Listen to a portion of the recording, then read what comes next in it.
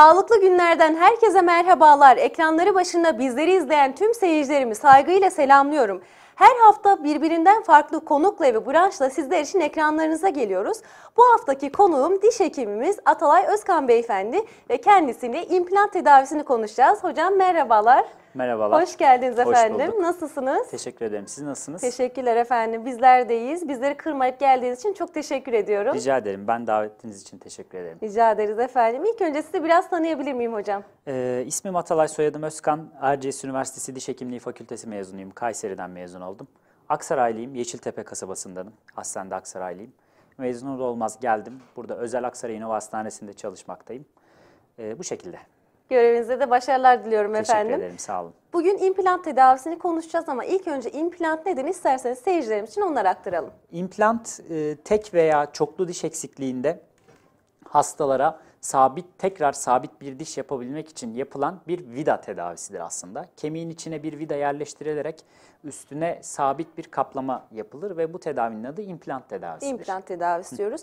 Peki bu implant tedavisi uygulanırken acı duyuyor muyuz ya da günlük yaşantımızı nasıl etkiliyor? Ya tabii ki acı duymuyorsunuz çünkü öncesinde lokal anesteziyle biz uyuşturduğumuz için yap, implant yapacağımız bölgeyi hastalar implant işlemi sırasında asla acı hissetmiyorlar. Sa- sadece sonrasındaki iki günde e, birazcık ufak tefek şişlikleri, ufak tefek ağrı kesiciyle geçebilecek ağrıları oluyor. Yani bu şişlikleri önlemek için de hastalar benim önerim buz uygulamaları oluyor. Zaten detaylıca bunları nasıl bakmaları gerektiğini hastalara biz anlatıyoruz. Buz uygulamalarıyla, ağrı kesicilerle e, çok rahat iki günden sonra çok rahat bir şekilde hayatlarına devam ediyorlar. Dediğim gibi o ilk iki günde çok sancılı geçmiyor. Çok ağrılı, düşünüldüğü gibi çok ağrılı bir işlem değil aslında implant Ağrılı bir işlem değil. Peki e, biz beslenmemizi nasıl yapıyoruz implant tedavisine başladığımızda hocam? İmplant tedavisine başladığımız zaman implantın sayısı bu konuda gerçekten çok önemli. Eğer çok basit tek bir diş implant yapıyorsak e, ağız bakımımıza dikkat ettikten sonra düzenli fırçalama, fırçalamalarımızı yaptıktan sonra hiçbir şekilde e, bir şeye dikkat etmemize gerek yok. İstediğimizi yiyip içebiliriz gerçekten. Açık yara kalmıyor çünkü o implant yapılan bölgede. Orası biz hekimler tarafından kapatılıyor bir şekilde. O yüzden hastanın gerçekten yeme içme konusunda dikkat etmesi gereken hiçbir şey yok. Sadece zaten her zaman söylediğimiz bir şey sigara kullanmamaları gerekiyor. Sigara olduğu zaman implantın başarı oranında gerçekten düşüş yaşıyoruz çünkü. Düşüş yaşıyoruz. Evet hocam. Peki implant sonrası vatandaşlarımızın merak ettiği konulardan bir tanesi protezlerim yapılana kadar dişlerim olmayacak mı diyorlar. Ee, şimdi implantın şöyle bir süreci var. Öncelikle şundan bahsedeyim. İmplantı yolladıktan sonra çeşitli markalarda biz implantı yaklaşık 3 ay üstüne diş yapmak için içeride bekletiyoruz. Kemiğe kaynamasını bekliyoruz. Ee, ama şimdi yeni gelişen teknoloji öyle bir hal aldı ki yeni markalarda bazı marka özellikle bir, bir iki markada bunun artık bu bekleme sürecinin sadece 3 haftaya indiğini görüyoruz. 3 hafta sonra hastalara zaten hali hazırda dişini takıyoruz. Ve bu 3 hafta içinde zaten implant yaptığımız yerler tam anlamıyla 3 hafta içinde iyileşeceği için iyileşir iyileşmez diş yapmış oluyoruz bir nevi. Ama 3 ay beklenilen hastalar için tabii ki geçici diş planlamalarımız oluyor. Hastaların sosyal hayatı etkilenmesin, günlük hayatı etkilenmesin diye. Ee, yaklaşık bir hafta içinde en geç hastaya geçici dişlerini yapıyoruz eğer 3 ay bekleyeceksek.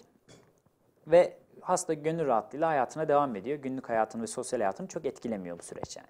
Evet efendim. Peki kaydedilen, e, kaybettiğimiz her diş için implant gerekiyor mu? Hayır yani tek diş eksikliklerinde evet ama e, mesela 3 diş için 2 tane implant yapılıp normal dişlerde yapıldığı gibi köprü tedavisi o implantların üstüne yapılabiliyor. Ya da mesela üst çenede ve alt çenede tamamen dişi olmayan 28 dişini de kaybetmiş hastaların biz işlerini genelde 12 implantla, alt üst çene toplamda 12 tane implantla ya da 8 tane implantla zaten çözebiliyoruz. O yüzden büyük işlerde tek diş için bir implant gerekmiyor diyebilirim, bunu söyleyebilirim yani. Dişlerimizi çektiriyoruz. Bazı sebeplerden dolayı dişlerimiz zarar görüyor ve çekim oluyor.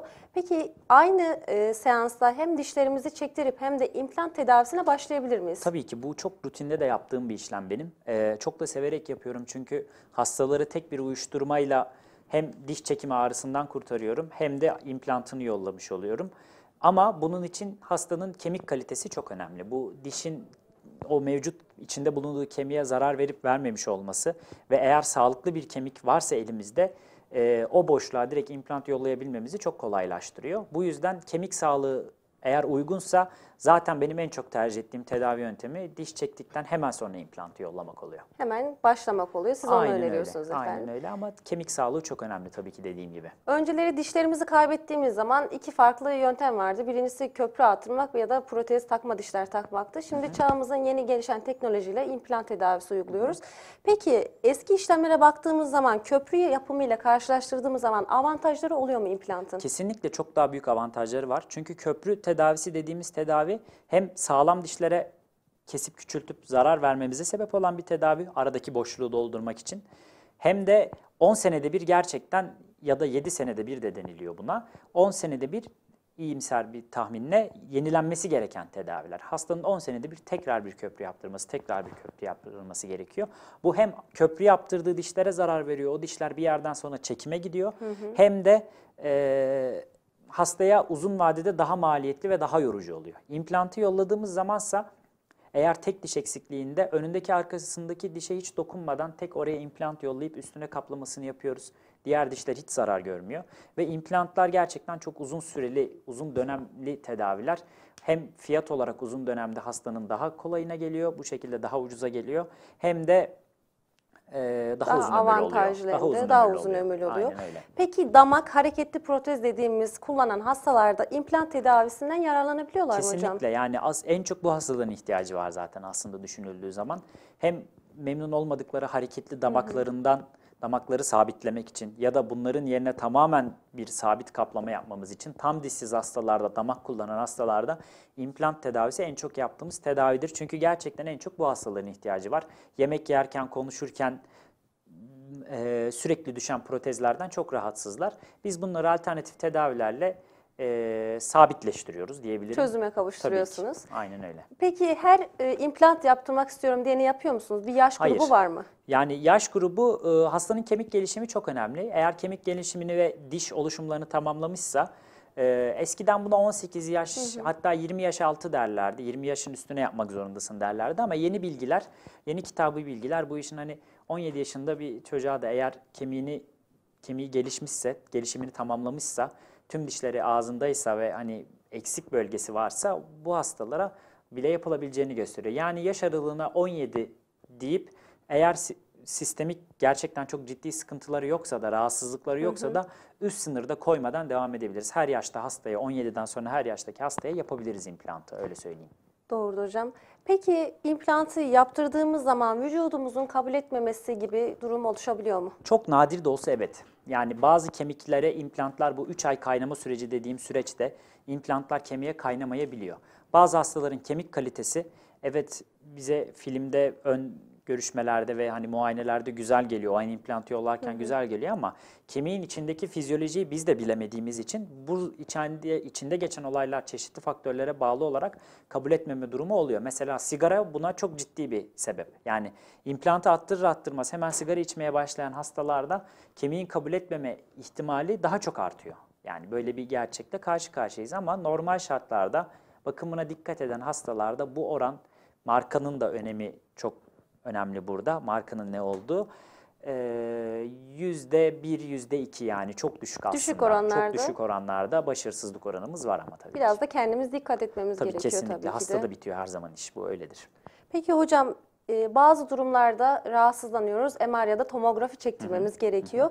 Bizde şöyle bir şey vardır. Tomografiye ya da MR'a girerken üzerimizde metal eşyaların Tabii. falan olmaması lazım. İmplant dediğimizde bir vidalı tedavidir. Evet. Peki implant taktıran bir kişi MR ya da tomografi çektirebilir Gönül mi? rahatlığıyla çektirebilir. Zaten bizim de e, bazı hastalarda tedavi sonrası tomografi aldığımız kendimizde bile oluyor. Yani çok gönül rahatlığıyla yaptırabileceği bir şey. Hiçbir sakıncası yok. Kemiğin içinde bir titanyum var ve e, bu titanyum ne MR'ı etkiliyor ne de tomografiyi etkiliyor. Hiçbir sorun yok yani. Yapısından dolayı hiçbir değişiklik Tabii ki yapmıyor. kemiğin içinde olmasıyla da alakalı birazcık. Öyle bir manyetik e, problem yaratmıyor. Sonuçta köprü tedavilerinde kullanılan porselenlerin altında da metal var düşünürsek. O zaman o metalin de MR etkilemesi gerekiyor. Olmaması gerekiyor. Aynen öyle. O yüzden hiçbir sıkıntı yok yani bu konuda. Her- Herkesin aklında bu soru vardır hocam. İmplant e, öyle bir şey vardır. Pahalı bir uygulamadır. Sizce öyle mi? İmplant eskiden çok pahalı bir tedaviydi. Bu hani gelişmeden önce yaklaşık 10 sene önce 15 sene önce implanta ulaşmak isteyen insanlar için gerçekten çok pahalı bir tedavi oluyordu.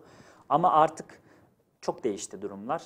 E, köprü tedavisiyle arasındaki makas çok kapandı. Özellikle yerli implantlar piyasaya çıktıktan sonra, ithal ürün gelmemeye başladıktan sonra yerli implant tercih eden hastalar için gerçekten makas çok kısa. Yani çok ucuz bir meblağ var ve daha önce de söyledim. Uzun döneme baktığımız zaman köprü tedavisini 10 senede bir yenilemeniz gerekiyor.